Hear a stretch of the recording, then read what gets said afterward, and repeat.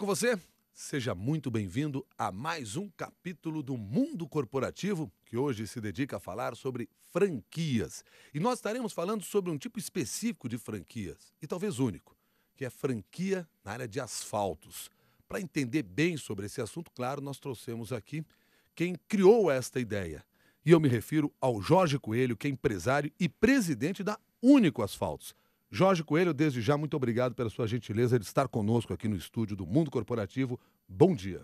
Bom dia, muito obrigado. É, uma, é um privilégio, além de uma oportunidade imensa, é uma divisão de águas enorme na minha história. Muito obrigado. Imagina, Jorge, é um prazer tê-lo aqui conosco. E vamos começar explicando o que é uma franquia de asfalto. Uma franquia de asfalto é principalmente uma forma, um manual de transformar um empreendedor uma pessoa interessada com perfil em fabricante de mistura asfáltica e vendedor de mistura asfáltica. Tá. Quando você fala mistura asfáltica, o que é isso? É importante falar que é mistura asfáltica, porque o asfalto ele é a, a fase anterior, é o betuminoso que sai lá na refinaria. E o que nós vemos aplicado lá na rodovia é uma mistura de pedrisco, pó de pedra e asfalto. O asfalto popular é conhecido, é uma mistura, é um concreto betuminoso. Ou seja, então o correto seria dizer que você tem uma franquia de mistura asfáltica. Uma franquia que faz e vende mistura asfáltica. Tá certo, mas falando que é uma é franquia é asfalto. de asfalto, fica muito tá mais claro fácil que... de todo mundo entender. Tá claro. Mas tá claro que há uma diferença, sem dúvida, tá claro Ótimo. que faz uma diferença. Agora, o que não tá claro para mim ainda, e eu quero que você nos ajude a fazer entender, é como é que esse processo vai funcionar. À medida que você está se referindo de um mercado que boa parte das vezes nós vimos grandes empresas atuando na venda de asfaltos para o setor público, principalmente. Como é que é esse negócio mesmo? Você é um empresário de franquia de asfalto. Significa ser o quê? Ótima pergunta. Exatamente. A franquia ela vai romper paradigmas. O nosso franqueado, ele se transforma, ele vai entrar num segmento muito fechado, muito seletivo de grandes empresas, de grandes empreendedores capitalizados com conhecimentos técnicos, acervos técnicos, e a franquia vai possibilitar um empreendedor, um microempreendedor, entrar nesse mundo. Nós conhecemos a melhor forma, o melhor caminho, um caminho mais curto e mais barato para entrar nesse mercado, oferecendo diferencial. O nosso produto, ele é um produto diferente também. Uhum. Bom, e, e, sobre essa, esse produto nós vamos falar um pouquinho mais à frente, inclusive aqui nessa nossa conversa hoje no mundo corporativo.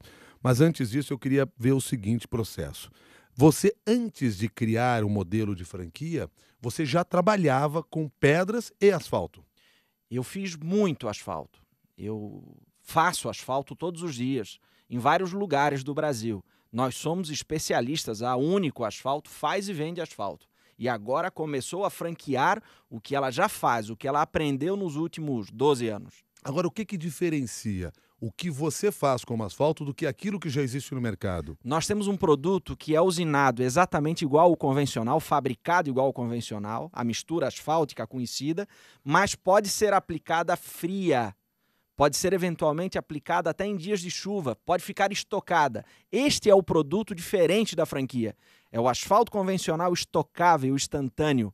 Você fala em asfalto frio asfalto frio. Está um tipo específico. essa expressão, asfalto é um tipo frio. específico de asfalto frio. É o quente que pode ser aplicado frio. Como é que você, onde você encontrou essa ideia? Onde você encontrou um produto como esse? Aqui é novidade, mas lá fora é normal. Lá fora, nos Estados Unidos, na Nova Zelândia, na Austrália, o asfalto usinado a quente para aplicar eventualmente a frio é normal. Existe na Europa. E eu enxerguei isso lá fora e tropicalizei. Tropicalizei da melhor forma, atendendo normas vigentes, DENIT, DR. Porque o que, que diferencia uh, o produto fabricado lá fora para o produto fabricado aqui, em função de normas que nós tenhamos no Brasil? O produto fabricado lá fora para aplicação fria é um produto pensado em bricolagem, em faça você mesmo é um produto mais gordo, mais grosso, ele não tem capacidades rodoviárias. O que nós fazemos aqui no Brasil é exatamente igual ao rodoviário.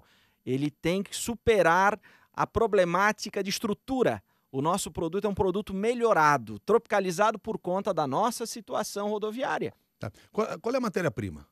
Pedra, Pedra, betume, ponto. Dizer, e essa matéria-prima ela é distribuída para os franqueados ou os franqueados compram no mercado normalmente? a, o, o, pedrisco, o pó de pedra é comprado em pedreiras e é, é uma commodity, é oferta hum. abundante em alguns estados. Do Acre a Porto Alegre vai encontrar centenas de pedreiras que podem, além de nos fornecer, fornecem já para concreteiras, outras usinas de asfalto, é uma commodity. A nossa matéria-prima é uma commodity. Agora, olhando aí, uh, no seu negócio antes de chegar na franquia novamente, dizer, você descobre esse produto, você identifica esse produto no exterior e resolve trazer pro, para o Brasil. Você começa aqui no Brasil como representante de uma empresa estrangeira. Eu fui um licenciado americano. Durante o caminho, eu percebi que o produto americano não poderia ser vendido aqui, porque uma prefeitura não pode comprar um produto que não está normatizado. Acontecia a mesma situação numa concessionária de rodovias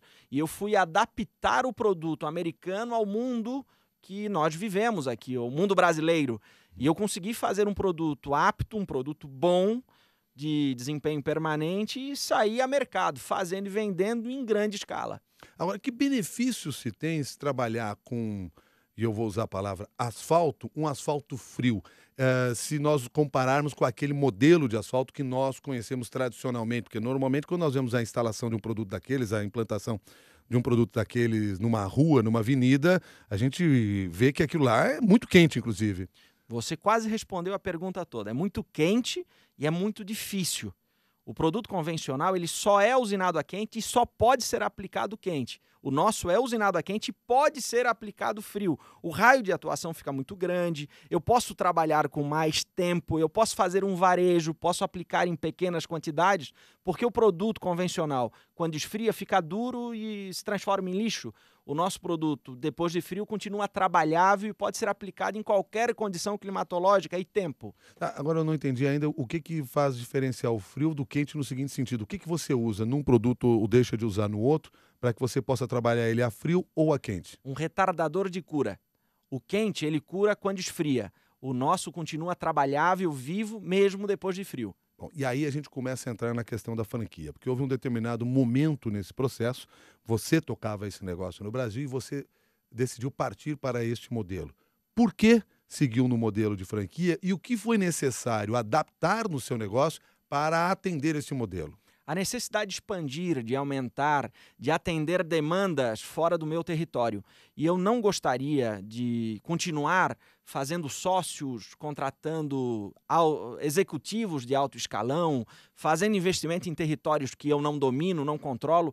E a melhor forma de expandir de forma saudável, de, na condição saudável, é encontrar um local, uma pessoa da região, que vai se comportar como dono eu procuro expandir através de um outro dono, de um proprietário. E aí a adaptação necessária foi, eu percebi que esse dono que vai entrar no, nesse meu negócio, ele não poderia nascer do meu tamanho. Uhum. Porque eu também trabalhei anos para maturar o meu negócio e ter estrutura e ter tamanho. Eu precisei pensar no modelo pequeno, econômico, de baixo investimento. E nós fizemos isso justificando a franquia. Nós diminuímos o equipamento, diminuímos o investimento, mas mantivemos o know-how, o conhecimento. Quando você está falando em diminuir equipamento, você está falando em diminuir a usina? que faz Exatamente. o produto. O, o, ponto X é o equipamento. A máquina que faz o nosso asfalto ela é 20 vezes menor do que uma máquina convencional. Ela é do tamanho de um carro, mas ela faz o asfalto ideal. E como é que você chegou a esse modelo de equipamento? Erros e acertos, Milton. Hum. Erros e acertos. Eu fiz alguns protótipos. Nós usinamos de diversas formas até chegar no modelo ideal. Tá, eu pergunto isso porque eu fico imaginando na equipe que você montou para desenvolver esse trabalho, até porque você é o proprietário da empresa, Sou mas o dono. é o dono da empresa, né? mas tem uma, mas tem uma equipe de trabalho evidentemente forte. por trás, forte e precisou trabalhar com pessoas criativas para chegar a esse modelo, por exemplo, de uma usina menor. É, eu queria entender como é que foi esse processo todo, o que, que você propôs para a sua equipe, como é que isso funcionou? A equipe participa junto comigo no, nas receitas. A despesa é só por minha conta. Mas nas receitas, a equipe, os fornecedores, eu, eu consegui experimentar fornecedores durante a nossa história e pude selecionar os melhores fornecedores de engenharia, de mecânica, eh, eletrônica, tecnologias afins. A, a, nossa franquia emoldura um conjunto de soluções e fornecedores. Tá. Qual é a sua formação? Eu sou um publicitário. Um publicitário e que foi se especializar no campo das pedras? Eu já mexia com rocha ornamental, sempre fui um apaixonado por lama, pedra, bota, equipamento pesado e por consequência do lugar onde eu estava vivendo e eu não falava a língua local e procurei um curso que eu pudesse fazer naquela minha condição. Você estava onde? Na Espanha. Por que você foi parar na Espanha? Fui porque na época mexia com rocha ornamental e a meca da rocha ornamental naquele período estava lá na Espanha. Tá. E essa relação com as pedras, ela se inicia motivado pelo quê? Você tinha alguma relação? A sua família trabalhava nesse mercado ou não? O meu primeiro trabalho formal foi em uma marmoraria. Foi uhum. uma oportunidade que me ofereceram, me agarrei, me apaixonei por aquela coisa de granulometria e morfologia pétrea e cá estou. Me ajudou. Me ajudou bastante. Agora, bom, voltando então aqui para a questão da para a questão da franquia. Em determinado momento você encontrou uh, o ponto certo para criar a ideia da franquia. Uma preocupação que você teve foi de reduzir o tamanho dessa usina. Fato. Como é que nós podemos hoje identificar esse tamanho? O que, que eu preciso, por exemplo, para ter uma usina de asfalto? Precisa conversar bastante comigo, me convencer que tem perfil para ficar grande em dois, três, dez anos, porque nós vamos crescer juntos e tem que gostar de colocar a mão na massa, tem que ser comercial, tem que ser articulado, tem que ser um empreendedor, tem que pensar grande. Tá, agora, mas eu preciso ter um espaço físico para isso. 300 metros quadrados, Milton. Ah, nós emolduramos a franquia de uma forma muito pequena, muito reduzida. O nosso franqueado ele starta mesmo pequeno, microscópico. Ele vai arrancar num terreno de 300 metros quadrados, um container para fazer o escritório dele e equipamento. Micro usina, ensacadeira e muita boa vontade. Tá. Ele é capaz de produzir quanto de massa asfáltica a partir uh, dessa estrutura que você acabou de traçar? A produção é importante. Vai fazer 1.300 toneladas por mês. O equipamento pode fazer fácil 10 toneladas por hora. Uhum. Agora, isso está diretamente relacionado à demanda que ele tem. Ah, lógico. O dono da franquia, o proprietário da franquia, nosso franqueado, uhum. nosso franqueado, ele tem que sair a campo, ele tem que trabalhar, ele tem que oferecer e convencer. Uhum. Bom, quem são os clientes desses franqueados, levando em consideração a estrutura que cada um deles tem? Hoje, o nosso melhor cliente, o que traz acervo técnico, é a concessionária de rodovia. A uhum. concessionária de rodovia tem que fazer a conserva e ela vai selecionar o melhor produto. Ela vai fazer oferta, é, custo-benefício. Depois nós temos os departamentos de água e esgoto, Sabesp, por exemplo. É, a Congás é um outro grande aqui em São Paulo que vai gerar demanda, consumo do nosso asfalto estocável, instantâneo. Prefeitura Municipal, Subprefeitura, DR, DENIT, Pátio de Manobra. Recentemente nós fizemos um estacionamento numa laje de um shopping, como a massa é fria, ela é trabalhável numa escala menor, fazemos aplicações afins. Agora, uh, deixa eu compreender o seguinte: por que, que a concessionária vai contratar o seu franqueado e não vai diretamente a você, que já tem toda a expertise, tem dimensão, tem credibilidade no mercado por ter montado o que montou? Porque o meu raio de atuação é limitado. Nós vivemos um país rodoviário muito grande e a, e a, coisa de agregar o custo do frete tira toda a competitividade do produto. É um produto que tem que ser barato e o frete vai deixá-lo caro. Então é importante ter locais trabalhando o público-alvo local de forma competitiva, barata. É possível fazer uma comparação em termos de custo-benefício com o produto, do, o asfalto que nós conhecemos o mais tradicionalmente, o convencional? O nosso produto é aplicado quando o convencional não pode ser aplicado. Aqui em São Paulo, o principal motivador será o, a quantidade, a demanda. Eu não consigo fechar, fazer um tapa-valas com um produto convencional. É, a quantidade não vai justificar o transporte, a usinagem, vai ficar caro. Então, o nosso produto, o nosso instantâneo é aplicado quando não é possível aplicar o convencional. Quer dizer que não dá para usar para a mesma finalidade ou dá? Dá para usar com a mesma finalidade, mas não faz sentido usar o frio quando eu tenho quente aqui do lado da minha obra.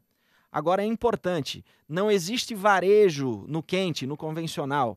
Esse produto, esse equipamento foi pensado para grandes intervenções, rodovias, avenidas, arruamentos. E é aí essa lacuna entre a demanda emergente. É muito difícil comprar asfalto, Milton.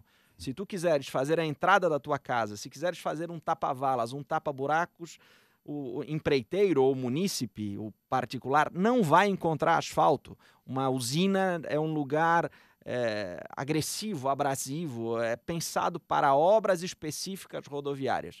O varejo, ele não está, não é atendido se não for atendido pelo nosso franqueado. Bom, então esse produto, inclusive a ideia eu acho que fica mais clara para quem está nos acompanhando, ele é vendido como nós compramos, por exemplo, cimento numa loja. Argamassa. argamassa. É a argamassa do concreto.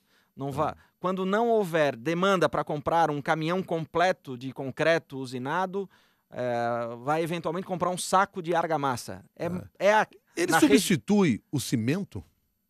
Ele substitui o cimento quando o cimento é mal aplicado. Vou lhe dar um exemplo. No condomínio na praia, onde a gente tem casa, é normal fechar buraco com cimento. Uhum. E o uhum. pavimento é flexível, o asfalto é flexível e o concreto é rígido. Então eu fecho o buraco e o buraco não fica bom porque não existe asfalto ali na redondeza.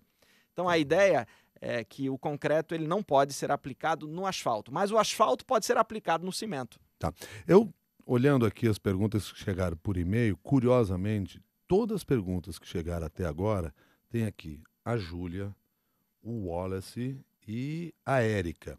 Mandaram perguntas para cá e todas elas perguntam sobre a qualidade do asfalto. E eu tenho uma outra pergunta também, que é da Giselda, que mora em Berlim.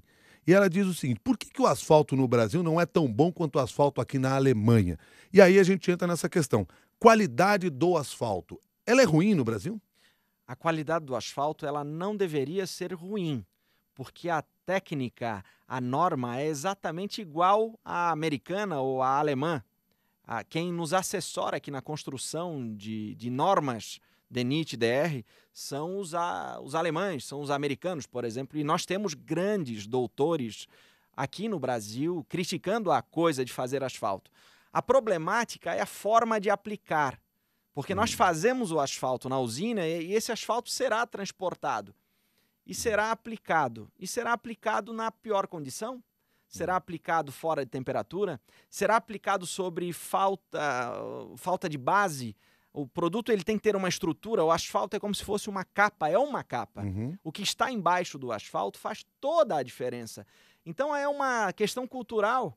Uhum. Começa lá no projeto. Talvez a gente possa até fazer uma comparação muito mais próxima, né? Pegar o asfalto que nós encontramos geralmente como padrão nas cidades brasileiras e aquele asfalto que nós encontramos nas boas rodovias brasileiras. Na Bandeirante, por exemplo? Por exemplo, você cita a rodovia Bandeirantes, rodovia importante aqui no estado de São Paulo. Você vê claramente a diferença.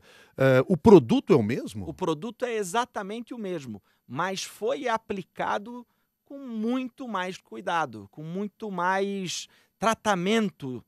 Ele foi. Eh, houve-se a. Aconteceu a preocupação lá no start do projeto. A base é muito boa, o asfalto foi aplicado na temperatura certa, o equipamento que compactou é o equipamento certo. E poderíamos fazer assim no Brasil todo, mas existe a problemática da cultura, porque tecnologia e mão de obra existe aqui no Brasil. Do ponto de vista da resistência, esse, essa massa asfáltica a que nossa. vocês produzem e a tradicional, há diferença? São exatamente iguais. Uma só pode ser aplicada quente, que é a convencional, e a nossa pode ser, eventualmente, ser aplicada fria. Ela pode ser a, a, atender, ela vai atender um raio maior de atuação. Passa a ser uma preocupação sua a forma como essa massa é aplicada? Sempre. E aí eu penso no seguinte, que tipo de preparo os seus franqueados têm que receber exatamente para que a orientação seja a mais correta possível e o produto oferecido com a qualidade que vocês imaginam ter. O nosso franqueado tem que se tornar um especialista. Ele vai vender um produto e terá a responsabilidade de como será aplicado esse produto. Ele tem que dar a instrução de uma forma que o popular, o munícipe, ou um especialista também, um, uma, uma empreiteira, possa absorver essa cultura da coisa de aplicar da forma certa. Tá. Bom, nós falamos aqui sobre franquia, mas vocês estão testando também o modelo de micro franquia, que aliás já foi até assunto nosso aqui no mundo corporativo, que é o modelo mais novo que vem surgindo no, nesse mercado. E eu pergunto como é que funciona a micro franquia no caso do asfalto. O micro franqueado, ele alavancará o nosso comercial. O micro franqueado, ele tem um território limitado, ele recebe um treinamento para explicitar o que é o nosso produto. Por que vender e fazer asfalto instantâneo? Por que fazer varejo do asfalto instantâneo? E é esta pergunta que a gente vai responder para o micro franqueado e o micro franqueado estará apto a divulgar, denunciar o nosso negócio no Brasil. Ele é um comercial que compra e revende do franqueado. Ele ah, compra do franqueado. Ele não produz a massa asfáltica. Ele não é fabril. O nosso franqueado é fabril e o micro franqueado é comercial. Então, como é que tem funcionado essa operação para vocês agora? Que lembrando que esse é um estágio inicial ainda. É muito novo. Nós estamos na fase laboratório, absorvendo, conversando com as pessoas e começamos os treinamentos. É novo. Vai bem porque é, vamos replicar o que nós já fazemos com os nossos representantes. Você falou em fase de laboratório, isso me remete a uma outra situação. Claro. Produto ou modelo que você vem desenvolvendo é inovador mas vocês continuam pesquisando para desenvolver outros modelos de massa asfáltica. Vocês têm um trabalho desenvolvido junto com a USP, não tem? Nós fazemos. Ótimo. Hum. Nós estamos desenvolvendo um produto verde, hum. ecológico. É, eu vou divulgar porque já é de domínio público também. É, nós vamos, estamos fazendo asfalto com agregado siderúrgico, hum. mas não é parte da granulometria. Nós vamos substituir toda a pedra todo o agregado mineral, o agregado de pedreira, que tem um impacto ambiental enorme, e vamos substituir pelo passivo ambiental de uma siderúrgica. Nós utilizaremos somente agregado siderúrgico, resíduo de alto forno. Uhum. Isso já vem sendo elaborado? Isso já é possível de ser feito? Faz três anos que eu faço esse tipo de produto e dentro de mais alguns dias nós faremos uma. Vamos oficializar o uso desse tipo de matéria-prima em algumas regiões. E como é que você chega, por exemplo, nesse tipo de solução? Eu falei aqui de uma parceria com a USP. Vocês buscam cientistas, vocês buscam pesquisadores? Que tipo de preocupação é essa que você tem, até para ser continuar sendo inovador no produto que traz ao mercado? Milton, eu não ando com qualquer um. Eu me preocupo em andar com o melhor. E lá na USP eu encontrei o doutor Elinho, que é uma personalidade na USP, da Politécnica, muito conhecido, com muita fé pública, e ele me convenceu nos últimos anos que ele é muito melhor do que o que se escreve sobre ele. E é verdade que pessoas como o Elinho nos alavancaram até aqui. Ah, estamos bem assessorados. Ou seja, você vai buscar nos centros de conhecimento que tem no país ah, a experiência e a, e a pesquisa para chegar a resultados como esse. Esta é a vantagem de viver em São Paulo. Eu tenho hum. aqui em volta da minha casa os melhores. É hum. mais fácil encontrar fornecedores e consultores aqui em São Paulo. E eu tá. tenho isso na USP, tá. por exemplo. Hoje a sua empresa está em quantos pontos do país? Nós estamos em todos os estados já, todos os representados de alguma forma, com operação própria, ou franquia, ou franqueado, fabricante licenciado. Nós tá. estamos em todos os estados, tá. em todas a... o, o Não estou em todas as cidades ainda. Ah, não está em todas as Chegaremos cidades. lá. Tá bom. O Mário Henrique, se ele quer saber o seguinte: qual o investimento necessário para ter uma franquia de asfalto? A franquia Fabril vai custar 340 mil reais, contabilizando capital de giro, primeiro estoque, usina de asfalto em sacadeira e adaptações é, fabris no local, no industrial, no, em um terreno, por exemplo. A gente. Hum vai pensar no detalhe de como fechar esse terreno, de como licenciar esse local. Uhum. E qual é a taxa de retorno? Ele tem que ter esse dinheiro de volta em menos de um ano. Em menos de um ano? É, isso, isso é possível? É muito possível. Nós fizemos o mais barato possível. Uhum. É, para que a pessoa consiga entrar nesse mercado megalomaníaco. Milton, não existe negócio pequeno em asfalto. A gente começa fazendo varejo, mirando no varejo, mas é normal absorver faturamento a partir do terceiro mês, que é a maturação comercial do franqueado. Ele começa a saber onde que ele vai mostrar o nosso produto e onde é que ele consegue encaixar o melhor negócio, da melhor forma, ética, como uhum. tem que ser. Uhum. Quantas pessoas uh, eu preciso para tocar esse negócio na usina? Eu preciso que o proprietário seja mão na massa e ele vai começar só com dois ajudantes. Com dois ajudantes Só é com dois ajudantes. Mas aí qual é a produção uh, possível trabalhando com- essa estrutura Ele menor? começa a produzir e vender 150 toneladas por mês. Qual é o perfil hoje dos franqueados de vocês? Eu tenho um médico, tenho muita vaidade em anunciar que o meu franqueado eh, no Acre é um biomédico, dono de uma rede de clínicas, uma pessoa muito, muito evoluída eh, do ponto de vista tecnológico, por assim Uhum. se dizer. É um cientista no que ele já faz e agora vem para o nosso mercado, mercado de infraestrutura. Eu tenho políticos, políticos com muito bom nome, há vários mandatos que ele está lá trabalhando, levando algum tipo de, de benefício para a população e ele então agora vai empreender, vai abrir mão da carreira política e será empreendedor. Eu tenho a, a grande maioria, logicamente, é são engenheiros que não gostariam de trabalhar com pizza, com óculos, sem depreciar qualquer outra coisa, mas a verdade é que ele tem vaidade em dizer eu sou engenheiro e faço asfalto. Que está muito mais relacionado É, à área dele, como é verdade, negócio. é verdade. Mas eu. O perfil é variado. A a formação não é o mais importante. Pois é, o que, que A formação precisa? acadêmica não é o mais importante. E aí eu vou retomar um assunto que a gente conversou um pouco mais cedo aqui. O que, que precisa, então, para ser um franqueado e poder investir nessa área, além do dinheiro necessário que você já citou? Ele tem que ser empreendedor. Ele tem que ter uma autoestima pronunciada, porque vai empreender num país difícil, complicado. Nós conhecemos o caminho, mas ah, este empreendedor tem que ter uma resistência natural. Ele tem que ser empreendedor no sentido da palavra. Pois é, eu queria entender assim, o que é ser um empreendedor. Porque nós temos no Brasil essa ideia de que o brasileiro é um empreendedor nato. E você mesmo chamou a atenção para agora, agora, lembrando que é um país difícil de se empreender É. por todos os processos. E a gente sabe que as empresas acabam fechando muito rapidamente. Mas o que, é, o que, que é esse espírito empreendedor, hein? Eu vou lhe dar um exemplo.